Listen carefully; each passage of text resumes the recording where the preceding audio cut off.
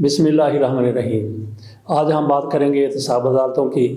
आज एहतसाब अदालत नंबर एक में नसीम अहमद वीरक साहब की अदालत में शहबाज शरीफ और हमजा शहबाज शरीफ का केस था। दस बजने में पाँच मिनट थे कि शहबाज शरीफ अदालत में दाखिल हुए। उनके साथ कुछ कारकुन थे, कुछ लीडर थे। और उसके बिल्कुल पाँच मिनट बाद हमजा शहबाज भी कारकुनों और लीडरों की भारी तादाद के साथ अदालत में दाखिल हुए। और उनके कुछ देर के बाद उनके वकील अमजद परवेज साहब भी अदालत में आ गए। शहबाज शरीफ जब अदालत में आए तो वो सामने की कुर्सियाँ छोड़कर उसके पीछे वाली दो कुर्सियों पर बैठ गए। उनके साथ मरियम औरंगज़ेब थी। जब से मैं एहतसाब अदालतों में जा रहा हूँ, तकरीबन दो महीने से पहली दफ़ा मरियम औरंगज़ेब को देखा है कि वो शहबाज शरीफ के साथ अदालत में आई हैं। वो अदालत के अंदर उनके साथ बैठी हुई थी और कुछ फासले पर उनके तकरीबन सामने। अताउल्ला तारड़ साहब बैठे हुए थे। बाप बेटे की आमद के चंद मिनट के बाद ही वहाँ पे इनके वकील अमजद परवेज साहब आ गए। हमजा शहबाज दूसरी रो में बैठे थे। वो उनके इर्द गिर्द कारकुनों का और लीडरों का अलग से हल्का था। जबकि इधर शहबाज शरीफ बैठे हुए थे। उनके पास कोई, उनके पास दूसरे लीडर थे और वकला थे। अमजद परवेज साहब के आने के कुछ मिनटों के बाद जज साहब भी नसीम अहमद विरक साहब भी अदालत में आ गए। वो तकरीबन दस बजकर बीस मिनट पर आए और केस की समात शुरू हुई, जिसमें ज़्यादा अरसा नहीं लगा। शहबाज शरीफ साहब उनके सामने पेश हुए। शहबाज शरीफ यही कह रहे थे कि मुझे तीन, साढ़े तीन साल में अदालतों में पेश होना पड़ रहा है। कई बार जेल भी जा चुका हूँ। मैंने कई मंसूबों में कई सौ अरब रुपए बचाए हैं और इस केस में भी एक सौ अरब रुपए से ज़्यादा की मैंने बचत की है। शहबाज शरीफ के इस आर्गूमेंट के बाद ज़्यादा देर तक समात नहीं हुई। जज साहब ने समात ये मुलतवी कर दी और सारे लोग अदालत से बाहर जाने लगे। केस की समात से कबल वहाँ पे खुशगपियों का एक अजीब तरह का समा था। गपशप हो रही थी कह कहे भी लग रहे थे। और इसी दौरान शहबाज शरीफ के शरीक मुलज़म अली अहमद साहब भी अदालत में दाखिल हुए। वो सबसे पहले शहबाज शरीफ के सामने गए शहबाज शरीफ ने उनको बड़ी गर्म जोशी के साथ मुबारकबाद दी, उनकी ज़मानत होने पर। उनके वकला की तरफ़ से भी मुबारकबाद दी गई, अता तारा ने मुबारकबाद दी, मरियम औरंगज़ेब ने मुबारकबाद दी और उसके बाद उनको हमजा शहबाज शरीफ ने भी बड़ी गर्म जोशी के साथ ज़मानत होने पर मुबारकबाद दी। दो रोज़ कबल एहतसाब अदालत की तरफ़ से एक एक करोड़ रुपए के दो मचलकों के बाद उनकी अली अहमद की ज़मानत मंजूर की गई थी। वो भी टी टी केस में मुलवस है। चार अरब रुपए की ट्रांजैक्शन हुई है उसके अकाउंट से। तो केस के बाद शहबाज शरीफ साहब अदालत से बाहर आए। वही सहाफ़ियों का जमघटा, उनसे सवाल शहबाज शरीफ ने तकरीबन आधा मिनट सहाफ़ियों से बात की और ये कहते हुए अपनी गाड़ी में बैठ गए कि बाकी बातें मरियम औरंगज़ेब करेंगी। को बहाना बनाऊँगा कि नेशनल असम्बली का इजलास है अदालत ने अपनी राय में उसको मुस्तल कर दी एप्लीकेशन उसके बाद फिर उन्होंने आज का जो था इजलास वो ले गए। अपने मंडे था कि मैं आज वहाँ पर हाजिर हूँ और हुकूमत के जो इरादे थे कि जनाब इसको इंडाइट करवाएँगे या करवाएँगे। एफ़ आई ए की जानब से जो तलब कलामी हुई कमरा अदालत में उसमें उसके बारे में। रवैया जो है। तरीके अदम अतमाद के हवाले से। जब हम अदालत की तरफ़ जा रहे थे तो अदालत के बाहर कई कारकुन मौजूद थे, खामोशी के साथ खड़े हुए थे। जब उनकी तरफ़ कैमरा किया गया तो उनके जोशो खरोश में इजाफा होता चला गया। मैंने भी उनकी तरफ़ कैमरा किया। पहले भी कुछ कैमरा मैन उनकी तरफ़ कैमरा किए हुए थे। उनको देखकर उन्होंने बड़े जज्बाती अंदाज में नारेबाजी की। समात ख़त्म होने के बाद अमजा शहबाज शरीफ बाद में और शहबाज शरीफ, पहले अदालत से निकले। शहबाज शरीफ अपनी गाड़ी में अपने घर चले गए, या जहाँ भी उन्होंने जाना था चले गए। हमजा शहबाज शरीफ जिधर कैमरे लगे हुए थे, वहाँ पे चले गए। उन्होंने कुछ दस मिनट की वहाँ पे ब्रीफिंग दी, या बात की, लेकिन केसेस के हवाले से एक लफ्ज़ भी उन्होंने ही, उन्होंने नहीं किया। इमरान खान के ख़िलाफ़ फ़र्ज़ सराई से उनकी तकरीर शुरू हुई और इमरान खान के ख़िलाफ़ ही इल्ज़ाम तानों और तंज के साथ उनकी तकरीर का ख़ात्मा हुआ। आइए आपको दिखाते हैं हमजा शहबाज शरीफ ने अपनी तकरीर के दौरान क्या कहा। उनको यकीन हो गया है कि वज़ी अजम की कुर्सी पर बैठा हुआ शख्स है कि पाकिस्तान की बदकिस्मती है कि आज एक ऐसा शख्स वजारत उजमा की कुर्सी पर बैठा हुआ जो झूठा है। निकम्मा है नाअहल है, और माफियाज का सरगना है। ये बात मैं इसलिए कह रहा हूँ कि जब कौम महँगाई में पिस चुकी है, गरीब आदमी, मजदूर, क्लार्क की कुत खरीद जवाब दे चुकी है, जब गरीब के बच्चों के मुँह से दूध भी छिन गया है।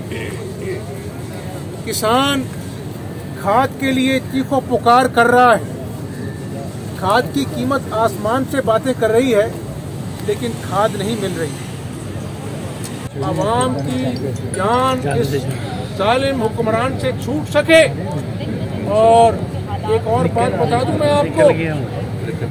एक तो ये जुल्म है ना, ऊपर से इनके वज़ीर कहते हैं कि आवाम घर में बैठ जाएँ, अगर पेट्रोल महँगा हो गया है, कोई कहता है टमाटर की जगह दही इस्तेमाल कर लो, कोई कहता है कि जी ऐसे कर लो, वैसे कर लो, ये लोग आवाम की जख्मों पर नमक छिड़क रहे हैं। और मैं अल्लाह से डर कर कहता हूँ, क्योंकि मैं वर्कर आदमी हूँ आवाम की आँखों में इस मुतरा हुआ है, इतना मत सताओ कि अल्लाह ताला की लाठी बड़ी बेआवाज है, इमरान न्याजी।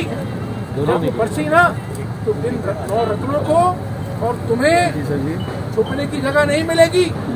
और आखिरी अदालत अल्लाह की अदालत है लेकिन तुम्हें अवामी अदालत में अब जवाब देना होगा। गोशा खाने का जवाब देना होगा। तुम्हें फॉरन फंडिंग की स्क्रूटनी कमेटी के जो होशर बा इंकशाफात है जिसमें तुमने टी बॉयज़ के नाम पर पैसे निकलवाए तुम हो मनी लॉन्ड्रर तुम हो करप्ट आदमी। जो दूसरों पर इल्ज़ाम लगाते थे। आज कुदरत ने पहिया घुमा दिया है। सबूतों समेत तुम्हारे खिलाफ कई एफ़ आई आर अवामी अदालत में कट चुकी हैं। अब तैयारी करो। इन ताला तुम्हारा बिस्तर बोरिया बोल करने के लिए तमाम अपोजिशन यकसूई के साथ फ़ील्ड में है और इन ताला अवाम को खुशखबरी देंगे हम।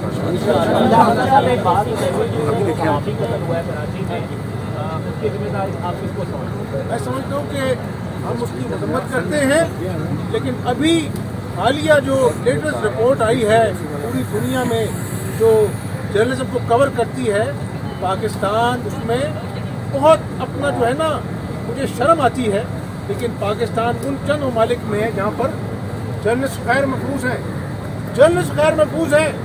आज लाहौर जैसे शहर में, जहाँ पर मैं आपसे बात कर रहा हूँ अरबों रुपए का मंसूबा लगाया सेफ़ सिटी का। आज भी मैं ऐवान में चीख चीख कर तकरीर करता रहा कि लोगों के घरों में डाके पड़ हैं, दिन दिहाड़े लोग कत्ल हो रहे हैं। लेकिन आज जब मैं आपसे बात कर रहा हूँ, पचास फ़ीसद कैमरा सेफ़ सिटी के बंद पड़े हैं तो यह ये नया पाकिस्तान है कि जो मंसूबे चल रहे थे, उनको भी बंद कर दिया। आज ये कहते हैं, एक और बात सुन लो, ये कहते हैं कि महँगाई है महँगाई कम है महँगाई अपना कम हो गई है। एक बात इनके वज़ीर कहते हैं कि जी ग्रोथ रेट हम कम कर रहे हैं। ये मैं नहीं कह रहा। ये इनके अपने वजारत खजाना के लोग जिम्मेदारान कह रहे हैं दुनिया में क्या हो रहा है? दुनिया में महँगाई है लेकिन वहाँ पर ग्रोथ रेट बढ़ रहा है। लोगों को रोज़गार मिल रहा है। तरक्की हो रही है। यहाँ पर उल्टी गंगा बह रही है। महँगाई भी ज़्यादा हो रही है और ये कहते हैं ग्रोथ रेट भी हमने कम करना है। ये कर रहे हैं इस कौम से, इस कौम से जुल्म कर रहे हैं। ये जो आइंस्टाइन बैठे हैं इसके इर्द गिर्द, ये जुल्म कर रहे हैं पाकिस्तानी कौम से। और अब ज़्यादा जुल्म बर्दाश्त नहीं कर सकती ये कौम, इसमें सख्त नहीं रही। इंशाल्लाह कौम के साथ खड़े होंगे, शाना बिशाना और इमरान नियाजी को ऐवान से बाहर निकालेंगे आईनी और कानूनी तरीके से। और जहाँ जहाँ भी जो जर्नलिस्ट जो हैं और अपना जो है वो मुख्तलिफ़ चैनल्स के, उनको फौत हुए अल्लाह ताला के रवायती को समय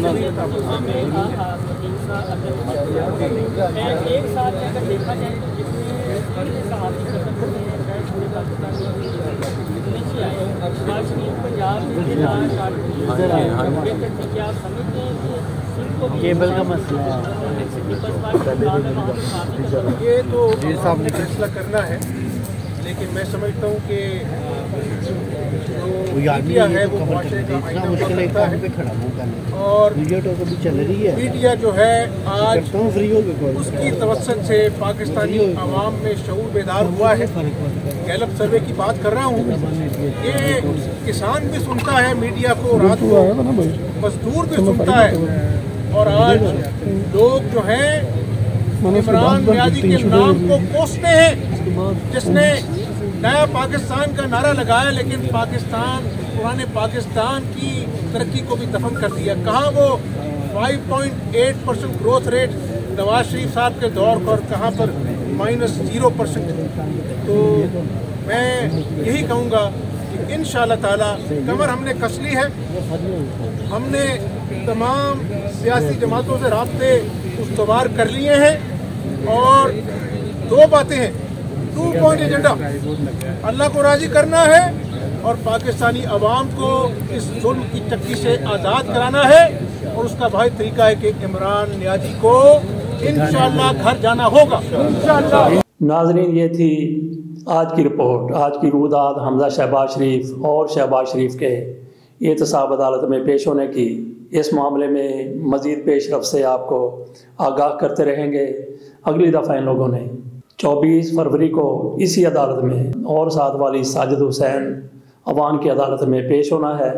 उस मौके पर जो भी पेशरफ होगी, उससे आपको आगाह करेंगे। ये भी साथ नाजरीन आपको बता दें कि एहतसाब अदालत में पेश होने से पहले हमजा शहबाज शरीफ और शहबाज शरीफ दोनों एफ़ आई ए के सामने पेश होकर यहाँ पे आए थे। इसके साथ इजाज़त दीजिए। अल्लाह हाफिज़।